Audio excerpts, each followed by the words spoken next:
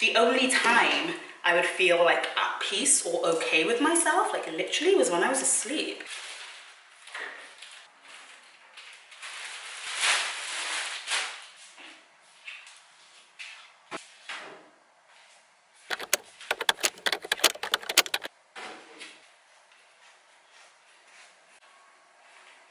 Let's just pretend I didn't already enter, place the camera, walk back out, and then re-enter.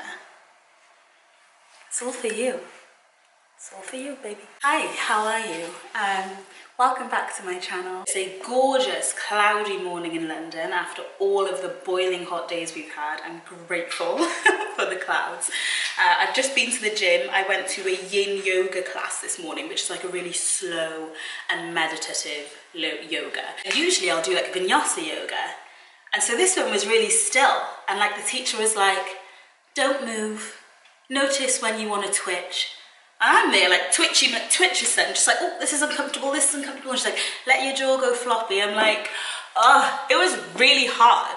It was so much harder than like holding a downward dog to a twisted plank to all this stuff. It was so hard to just chill out.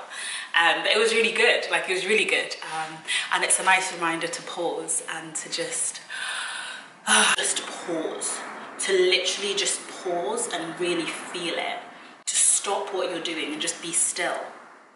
Know that God is good. Like, I really believe that, but in my life, how much do I practice that? So I'm gonna book a load more yin yoga classes. I know that sounds really uh, enlightened and bougie and stuff, but you know, this stuff exists for a reason. I think I need to learn how to pause and relax. Like it shouldn't be that hard to be still for three minutes. I'm gonna also be putting out these flowers. Uh, I love having fresh flowers in my home. I really try to prioritize stuff that I like, like financially and time-wise, because I think that's a great way to practice self-love is like doing things for yourself that are beautiful, that you enjoy, just things that make you smile. So for me, I love flowers. Flowers really make me smile. So I make sure that I get myself some so that black can be beautiful. Um, but yeah, I don't buy the most expensive at the moment. If I could, I would. and I hope to be able to one day, but I literally just get the five pound bunches. Um, would these be £1.50 in Aldi? Yes, but let's not talk about that. Please don't expect any crazy arrangements here. I tend to do the least with this, and I know that there's a lot more that you can do. I just do the bare minimum um, in order to keep them alive for kind of as long as possible. Um, so the main thing that my mum taught me growing up was that always remove the any leaves or any dead plant material that is going to be below the water line. Um, so I'm just kind of picking stuff up and just picking off any leaves that will be below the water line of the vase um, because that will just rot and kill the flowers sooner. So yeah, if the water's going murky a lot, then you might want to double check. There's not dead weight below the waterline. And the other thing that I do, I mean, I'm pretty sure it says this on instructions whenever you get flowers, but the other thing that I do is I just cut uh, about an inch or two off the bottom of the, of the stems. Um, just so that it's fresh and can absorb water.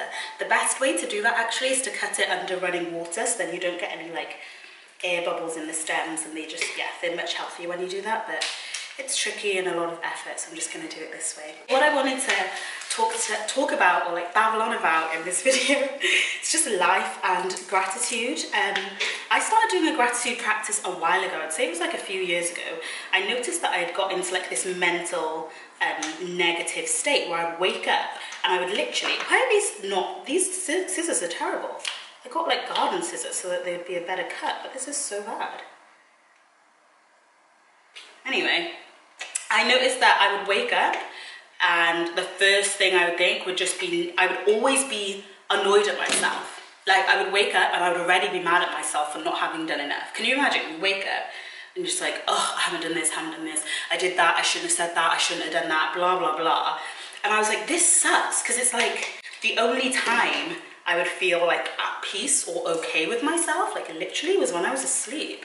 So I'd love being able to go to sleep because I'd be like, oh, finally, stress free. And I'd wake up in the morning and I'd be like beating myself up all day. Um, and so I think the first thing I did was that I forced myself, when I realized this and like the, the cycle of misery, I'm just gonna change these. These are terrible. This is the first time I've used these to cut flowers and they suck, so. Okay, these should work a little bit better. Yeah, so I kind of got to the place where I was like, okay, I'm banning myself from saying a bad thing as my first words of the day. In my head, mind you. So I'd wake up and I'd be like, oh, you're running late for this, you haven't done this, blah, blah, blah. So I was like, the first thing I'm gonna say is thank you. That will be the first word I think every single morning when I wake up. I'll just be like, thank you that I'm alive. Thank you for another breath. Thank you, Lord. And I made myself start the day giving thanks. Um, and that that helped. That genuinely helped quite a bit. Like i remember just feeling a bit better about everything. And then i think maybe like a month or two after that this was back in like i don't know 2019 i think. Can't really remember. Um, but I started a gratitude journal, so I just got a little notebook, nothing complicated. I'd write the day's dates, the day, the month, the year, um, and I would, oh, missed one, missed a little bit below waterline. I would write the date and then I would write the word gratitude. So I'd write gratitude and I would just list stuff I'm grateful for. Um, so list all the things that I'm grateful for, which could be anything. Um, and at first, I, you know, I'd be sitting there like thinking for like a minute. It gets so easy. Suddenly it's like, I'm really grateful I'm alive. I'm really grateful my sisters are alive. I'm really grateful my brothers are, you know, just things I'm grateful for. Um, I'll be grateful for my coffee, for a sunny day. Sometimes I'll be grateful for the rain that was pretty to look at and for shelter from the rain. I'll just list all the stuff I'm grateful for. And when I tell you, it just makes you feel happy. Suddenly you're like, there is so much to be grateful for. There is so much good and it makes you feel so happy.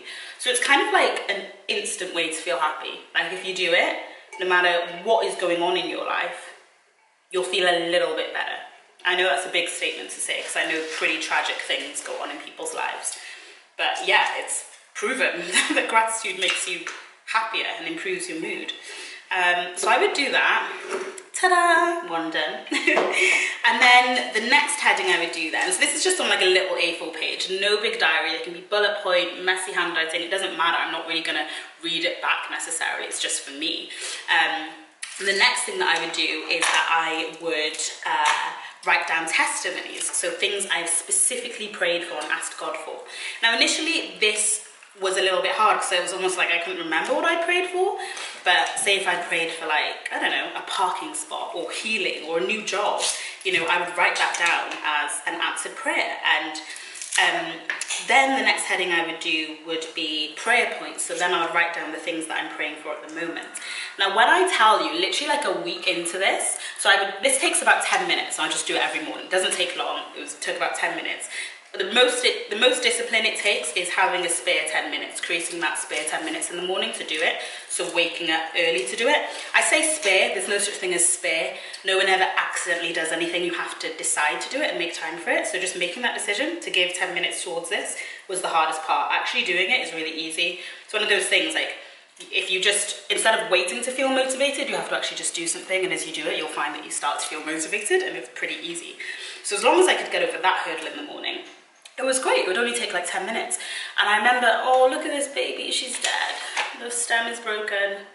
Uh, do you know what? I'm to be stingy and I'm to put her in anyway. And just watch her die slowly. Anyway, I guess that's what we do with all of these flowers. Anyway, so it was really good. It was really helpful. Love it. Highly recommend it.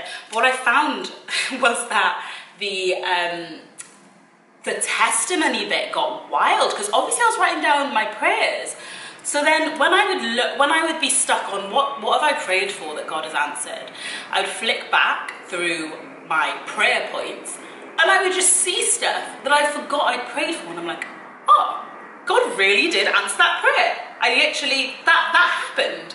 And it was just amazing to the point where sometimes it would make me run over time. So I'd just be sat there in awe, like with this like existential, not existential crisis, but just thinking, oh my God, is, God real? and obviously I'm a Christian, I believe in God, but like, you know that moment where you're like, wait, wait, wait, wait, did God genuinely just hear my prayer and answer it? Like, what? What? Like, that is wild.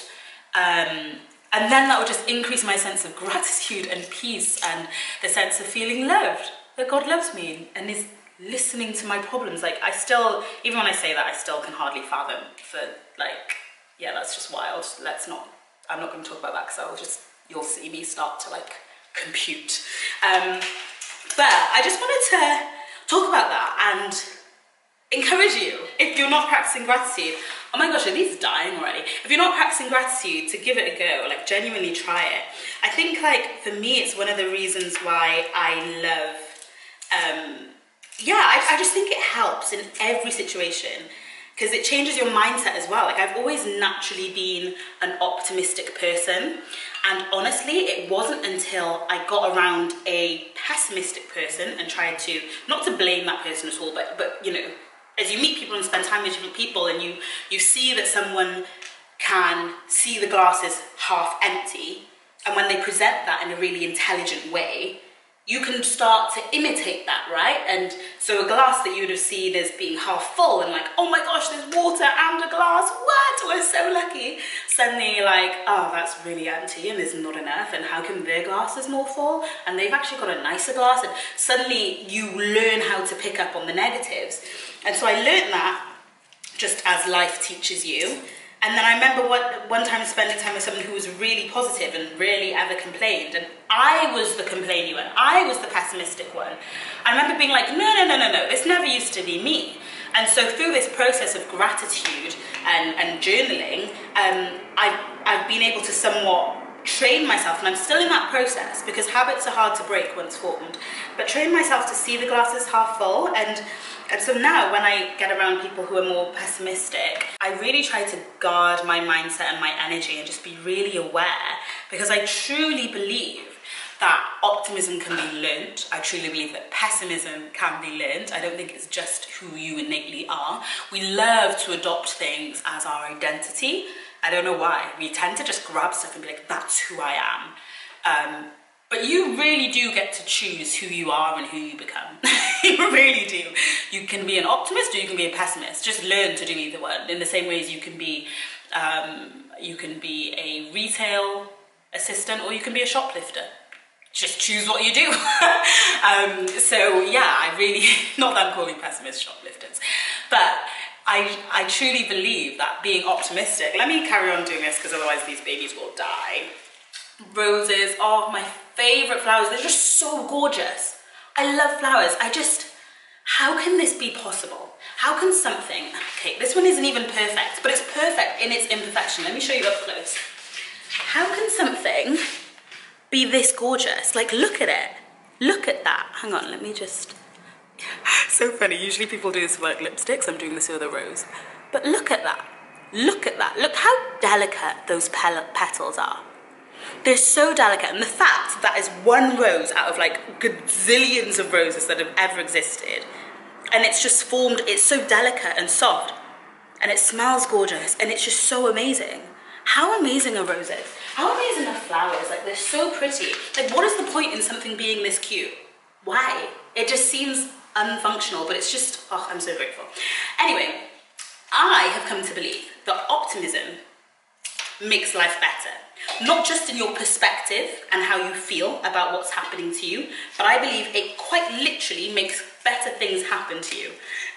the reason I believe that is not just with this kind of stuff I've been reading about like energies and all this zada zada, you know, enlightening stuff. But I just think practically, practically speaking, when you're smiling and in a good mood, you attract people towards you. Um, you bring out that reaction in them. So if you go to the shopkeeper and you smile, because you've been thinking of good stuff and you're happy, or you frown, that tends to determine how they respond to you. Um, and so, yeah, I think that there's a practical element to practicing gratitude and optimism. So, always looking for the good that you can see in any situation that then makes more good things happen to you. I believe that on a practical level, in terms of like people just want to be around optimistic people, and also on an energetic level, I really do think that you attract the kind of vibes that you put out. Um, so, yeah, just to encourage you guys, like, really it's, it's helping me. It helps me, it's kind of like you're in a situation either way, right? So you can either feel worse in that situation or you can feel better within that situation. Do you know what I mean? Like you can either do something that might help change the situation, or you can not do that thing that might help change the situation. And I'm not trying to belittle people's situations. I know that people have like genuinely, you know, I work as a doctor. I know that life is, yeah, things can suck. Things can be genuinely tragic. But I still believe that we get the element of choice in how we perceive what we choose to focus on, whether we choose to see the light or the negative. I even see that on YouTube, you know. Like sometimes I'll be watching, um, you know, the people I'm subscribed to and the people I follow, and you 100% get the vibe of like the YouTubers who like um, always respond to negativity and will be like speaking to their haters and blah blah blah. And you look at the comments and you're like, there are so many more lovers than haters in your comments, like, but you're responding to the neg energy. And so I'm watching this video and I'm just feeling negative energy. And I'm like, I, and I get it because it's hurtful when someone leaves a negative comment and it's, it's hurtful um, when you invite someone into your life and bad stuff happens. And we as humans have, can have the natural tendency to see that negativity and feel it more. You know, you can get a hundred good comments and one bad comment and you can zone in on that and it really hurts. But when you do allow yourself to zone in on something, I, I genuinely believe it attracts more of that. Like, I, I truly believe that. Um, I think that, yeah, you guys have always been so nice. So nice and so kind to me, and I'm so grateful. I genuinely believe that is because of God's grace and just drawing really kind people to my channel. I'm so grateful for you guys.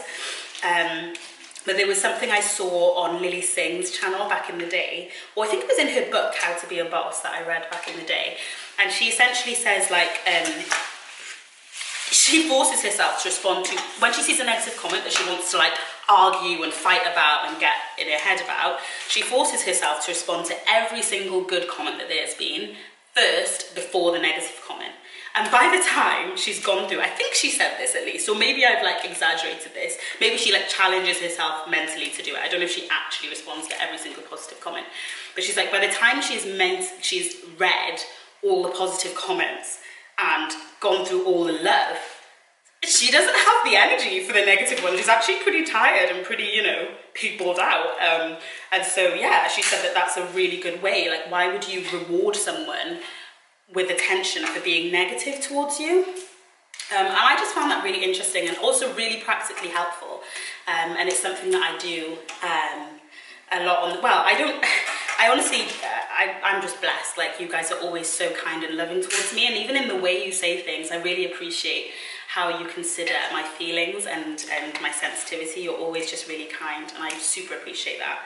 Um, but yeah, I just wanted to encourage you that like, life be lifing, life be lifing. When I tell you, I wish I could tell you all the drama and nonsense that has gone on in my life over the last year, but you know, you'll, you'll rarely ever see me talk about other people on this channel. Um, I don't think you will ever see me talk about relationships and stuff like that specifically on this channel, just because that's not for me. I, I, I, do enjoy, I like sharing my life, but I'm never gonna force a friend or someone I know to, to share their life online. Um, so yeah, if you don't see me out with friends, um, it's because, you know, I just not post it. Um, why did I start saying that? Anywho, camera's overheating.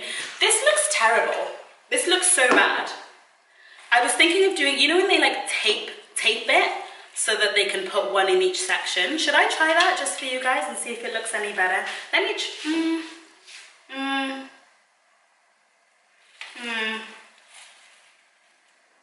No, I don't think I'll have enough. I think I'm just gonna cut them all shorter. That's it. It's just too long, it's too tall. Oh, more like hack it. Anyway, I hope that that little chat has been interesting, oh that's way too short, has been interesting or helpful or yeah, just anything to you. Like if you ever see that I'm positive or optimistic or whatever it is, just know that at some point in my life when I was a child, it may have been just, oh, that's just the way I am or the way I was raised. But as an adult, it has been wildly intentional. I protect my energy fiercely, fiercely. Now I'm like a child, like look at me, I've just talked for 20 minutes straight with no one Is it 20 minutes? 15 minutes with no one interrupting me. Like, I love a chat. I love to meet people. I'm always chatting, chatting, chatting. But when I tell you, when I sense now that I am being impacted by someone's, by, by negativity in a way that I am not yet strong enough to resist or, um, or understand or respond to well, I leave, I duck out. I'm like, oh, I can't handle it. I don't, I don't, I, I fiercely protect my energy. Like, my mum used to say this to me growing up, and, and I never understood it as a child. But now, as an adult, I get it because we're quite similar. We're both quite sensitive, and you know, people who naturally give a lot. We love to make other people happy. She would always tell me to guard my heart, and I never understood it. It would be like when a sibling upset me, and I'd be crying. She'd be like, "Sara, you need to guard your heart, guard your heart." And I'm there, like six, like, what does that mean? Just punish him, just punish my brother for what he did to me. She'd be like, "Guard your heart, guard your heart." And I think that's just so true that you have to, especially as an adult, I've learned I have to guard my heart, that not everyone is going to speak things to me that are good for my heart. Not because they're evil, but because they just, they don't know how. And we're all working on ourselves and grow, well, we're all human and flawed. Not everyone's working on themselves. But we, we, we all make mistakes. And so it doesn't have to be that someone's intentionally trying to drag you down or trying to make you depressed or trying to bum you out. But that just might be where they're at at the moment, and that just might be the result of the way they speak at the moment and the things that they choose to focus on. And it's up to you, to, it's up to me, I've found, to guard my heart. Like God has given me that responsibility.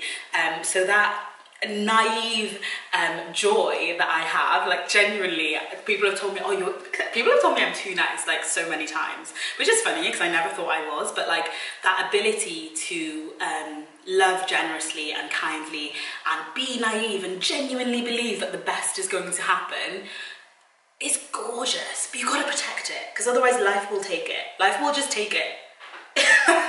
like, yeah, so you have to intentionally protect it, and that's something I've been learning over the last year. And sometimes protecting your peace and your space, like literal physical space, takes an element of boldness and fearlessness that is beyond anything you might think you're capable of. I've had wild experiences this year where I've had to quite literally protect my physical space.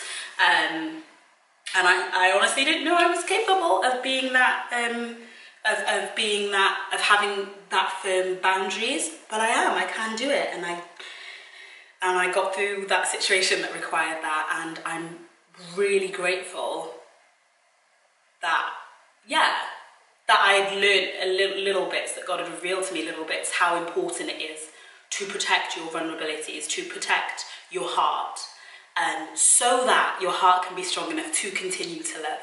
Do you see what I mean? And for me, a big part of that has been gratitude, intentionally choosing what I focus on, and what I surround myself with. Anyway, I've talked enough, I've gone on enough. Um, thanks for clicking on the video and tuning in. Um, I don't know what I'm going to be posting, and you guys know, if you've been on this channel for more than five minutes, you already know. You already know what it is. Um, so what I'm going to do is, I need to tidy this place. It is a mess. This place is a mess. I know you might be thinking it's really not that messy, but I've just become really, I don't want to say a clean freak, but like the floor is not clean. The floor is not hoovered and mopped, and so I'm going to hoover and mop and wipe the sides and stuff and put these flowers out. But yeah, thanks for tuning in. Subscribe. Let me know your thoughts. I love you so much. Oh, I braided my hair, but I mean, you obviously know by now, but I braided my hair um, for the first time in like a good four years, maybe even longer. Uh, maybe not longer, maybe like three years. but it feels good. Oh, I've missed braids. Why have I not done this? Yes, I haven't been able to sleep since I did them. Like I'm sleeping on my face right now, but oh my gosh. And, I, I, and it looks good too. I feel like an African queen. Okay, love you so much guys. Bye.